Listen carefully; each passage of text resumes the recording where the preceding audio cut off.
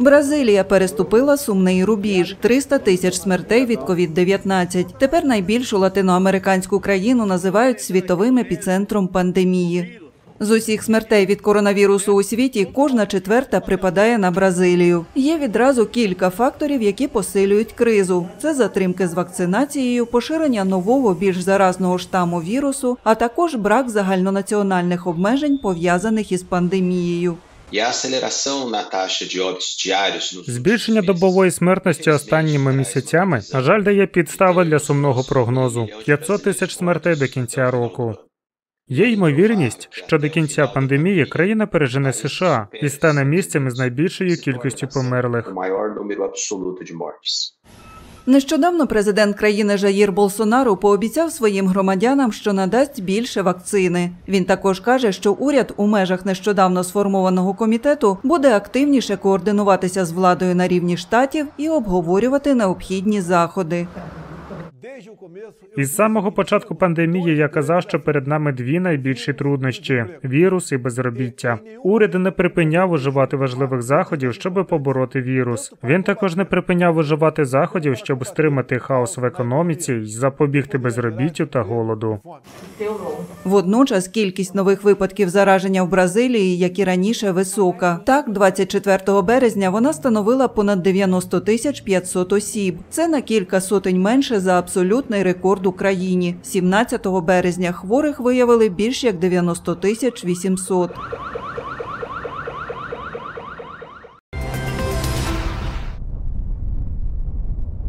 Щодня два чилійських школярі беруть рюкзаки і вирушають на найближчий пагорб. Мама з татом допомагають доставити туди стіл і комп'ютер. І все це не заради мальовничого краєвиду. Просто це єдине місце, де можна під'єднатися до мобільного інтернету. 13-річний Андрій та його 10-річний брат Мануель до пандемії ходили до сільської школи, що в сусідньому селищі. Коли почався карантин, усіх перевели на онлайн навчання. Оскільки вдома інтернету немає, вони могли дуже відстати від програми. Мене дуже здивувала увага. Коли я опублікувала фотографію, вона швидко розлетілася. Не думаю, що проблеми з інтернетом лише в нас. Тут багато скотарів. Гадаю, інші сім'ї теж мають такі ж. Висидіти всі уроки просто неба непросто. Вранці ще нічого, але потім на сонці вельми спекотно. До того ж, інтернет-зв'язок не завжди добрий. Буває, що сигнал поліпшується вже після закінчення уроків. У нас перерва приблизно півтори години, щоб можна було поснідати, бо ж так можна і з голоду вмерти. Тепер я дуже сумую за школою. Утім, хлопчики однаково кажуть, що їм добре жити на природі й доглядати за тваринами.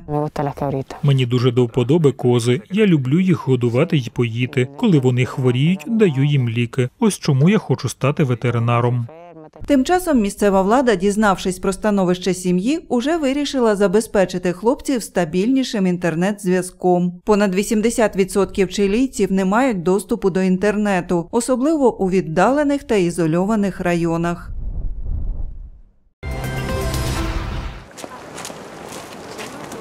У ніжно-рожеву сукню причепурилася сакура в японській столиці. Сотні жителів Токіо виходять на прогулянки, попри заклик влади залишатися вдома. У неділю тут закінчився режим надзвичайного стану, який оголосили через сплеск захворюваності на ковід. Але небезпека поширення інфекції поки зберігається. Багато хто все ж прийшов сюди помилуватися сакурою, бо вчора в новинах сказали, що вона на піку цвітіння. У період цвітіння сакури японці влаштовують під деревами пікніки. Ця традиція називається ханамі. Та нинішньої весни доведеться обійтися без неї. Губернатор Токіо закликала не розташовуватися на відпочинок під деревами. Оскільки це на вулиці, гадаю, милуватися сакурою безпечно, аби не було великого скупчення людей. У Токіо також відновилися автобусні екскурсії. Містяни можуть помилуватися сакурою під час поїздки на другому поверсі автобуса. До пандемії такі тури були дуже популярними, й автобуси здійснювали до 100 рейсів за день. Зараз їх у десятеро менше.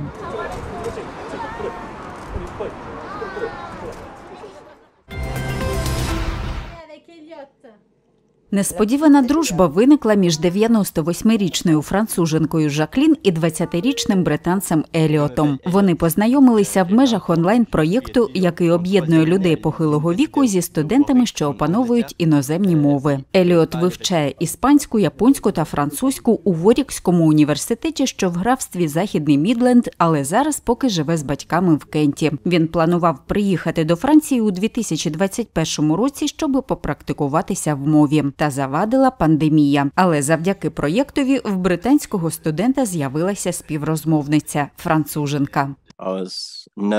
Я хвилювався перед зустрічю з новою людиною, яка належить до іншого покоління, виросла в іншій культурі й говорить іншою мовою. Занепокоєння Еліота розвіялося за першої ж бесіди. З нею дуже легко розмовляти. Вона дуже весела і запросто підтримує розмову. Вона завжди про щось запитує і до того ж справді цікавиться, а не просто запитує, щоб лише запитати й заповнити час. Ось так ми подружилися. Жаклін живе в будинку для людей похилого віку під Парижем. З новим другом розмовляє онлайн щопонеділка. Мене запитали, чи хочу я спілкуватися з юнаком чи дівчиною, які бажають поліпшити свою французьку за допомогою розмов, і я погодилася, бо для мене це велика втіха. Еліот розповідає про все, що відбувається в його житті. Зараз він опановує оригамі, тож нині ділиться своїми успіхами.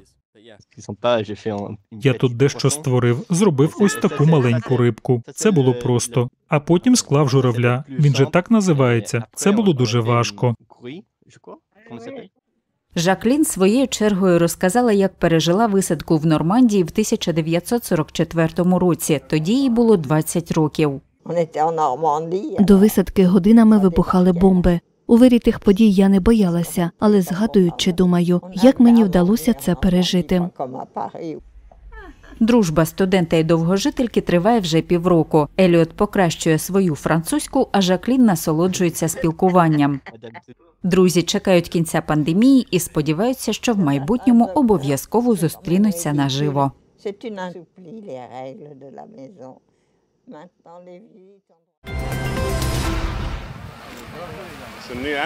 Дослідники поспішають побачити ісландський вулкан на острові Рейк'янес. Після місяця підземних поштовхів тут почалося виверження. З одного кратера витікає лава. Гора височіє за 30 кілометрів на північний захід від столиці Ісландії, міста Рейк'явік. Це цікаве виверження. Воно не почалося із сильного вибуху. Натомість сталася фантастична серія, напевно, із 50 тисяч землетрусів за місяць. Лава повільно підіймалася до поверхні, і тепер відбувається досить невелике виверження. Науковці кажуть, що лава поступово заповнює цю місцевість. Ми очікуємо, що це місце почне заповнюватися як ванна. Наскільки швидко залежить від тривалості виверження. Поки лава витікає лише в одному місці. Якщо виверження буде тривалим, ми побачимо, як лава наповнить ванну і почне переливатися через краї. Поки вчені проводять вимірювання, хтось скористався нагодою посмажити на лаві сосиски. Рятувальники кажуть, що викидів попелу поки не було, але поряд із місцем виверження багато отруйних газів. Відвідувачам радять перед походом ретельно підготуватися. Відповідне екіпірування, відповідний одяг. В Ісландії холодно.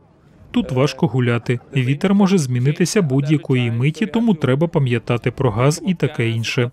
Вітер зараз із цього боку, тож газ іде туди, і нам нічого не загрожує. Але якщо стояти там, то це небезпечно. Слід бути дуже обережним. Виверження лави особливо видовищне темної ночі.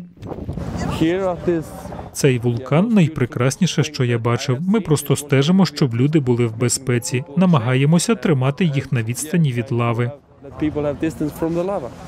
Виверження прямо не загрожує мешканцям найближчого міста Гріндавік. Однак метеорологи попереджають, що можливі зсуви.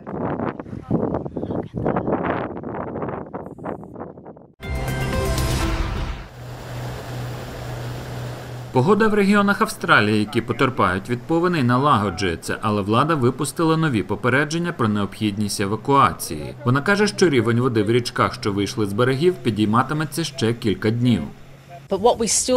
Слід пам'ятати, що тисячі й тисячі людей досі перебувають у районах, де випущено попередження про евакуацію. Що річки й далі виходитимуть із берегів. Що до водосховищ ще прибуватимуть потоки води, яких не бачили 50, а в деяких районах і 100 років.